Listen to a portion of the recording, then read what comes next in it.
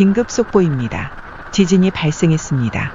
3월 16일 밤 11시 36분쯤 일본 미야기현과 후쿠시마현에서 진도 6.4 그리고 7.3의 지진이 두 번 발생했고 이로 인해 일본 도쿄의 중심과 긴자거리에 대규모 정전 사태가 발생했습니다. 한 고층 건물의 사무실에서는 한밤중에 일어난 지진으로 사무실 전체가 크게 흔들려서 사람들이 공포에 떨었다고 합니다.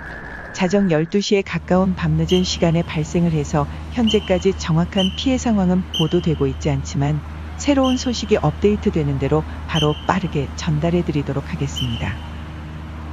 구독과 좋아요를 눌러주시면 좋은 일들이 생기실 겁니다.